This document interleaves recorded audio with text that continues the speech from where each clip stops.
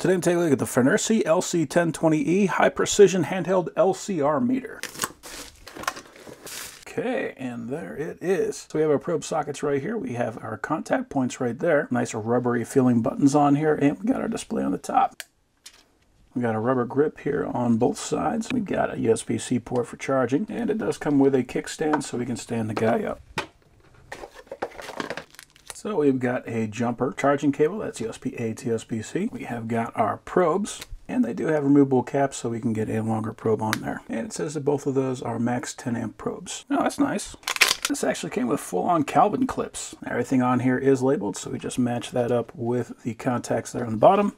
Push that in, and then give it a slight push. Does come with instructions, and those are in full color. It says it has a test frequency of 100 hertz up to 100 kilohertz, accuracy of 0.3%, measurement range of 0 to 100 henries, 0 to 100 millifarads, and 0 to 10 mega ohms. And it looks like it even has a record function. Has an output impedance of 100 ohms, and you can also set the auto power off on that. You got some information on the accuracy. So for 100 kilohertz at 1 picofarad to 1 nanofarad, you're looking at a 2% plus or minus 4 digits. We got table fed resistance, and we got the same thing for inductance. So let's turn this guy on. Okay, apparently it does come charged enough to actually run. It actually appears that it comes fully charged. So first it is an L. We can change that here. We got Z, C, R, and L. Second is Q, so we're in quality. We can change that here.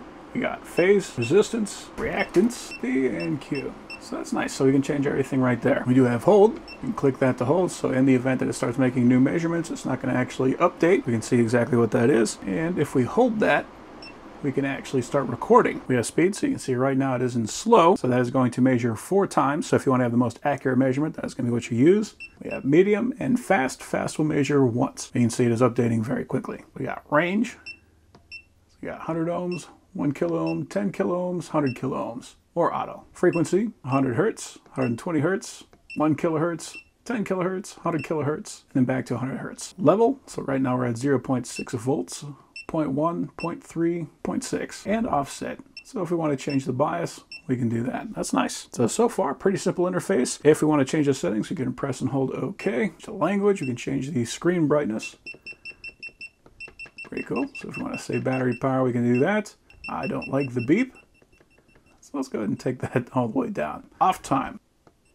Cool. So we do have auto power off option on there. So if you're like me and you have a tendency to forget about it, we can change that. So that's where we're going to calibrate and system reset. So very simple interface. Here I have a 1K resistor, and this is a blue resistor. So it should be fairly close to that 1 kilo ohm. Change that to resistance. And I'm just going to push that into that contact area. And there we go. 1 kilo ohm. So that's awesome. Pull it out and it resets. So if we want to test resistors very quickly, that is going to be an excellent option for that. Let's go to capacitance. Now these are not super accurate capacitors. You'll probably see that here, but let's go ahead and take a look anyway. So this one, this is a 330 microfarad capacitor. Okay, 310. So that is actually definitely within the, I think it's 10%. One of the really cool things about an LCR meter is that you can actually check components while they're in circuit. Now this is not really a great example because this isn't really a circuit. This is just kind of a mess. You can really see that we can't really jam these things in there very easily. And that is where we can use this guy.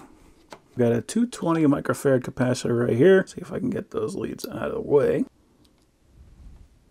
There you go. 207. So if you need to check a capacitor and you don't really have the capacity to pull it out of the circuit, then LCR meter really is the best thing for that. It may not be perfect if you're actually testing capacitors and things in circuit, but quite often you can find and identify a bad capacitor that isn't even showing that it is blown or leaking. Let's use our leads. And whenever you're introducing the wire, you're going to be changing the inductance. That's just something you want to keep in mind.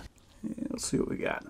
Pretty much uh, same thing, 208. That is great. We got a whole bunch of different ways so we can test components. LCR meters, if you're ever doing any kind of troubleshooting on electronic devices, this is going to be one of the most valuable tools to have. So yeah, that looks like a very high quality unit. I really love how intuitive everything on here is. Everything is very simple, very well laid out. Overall, that is an awesome LCR meter.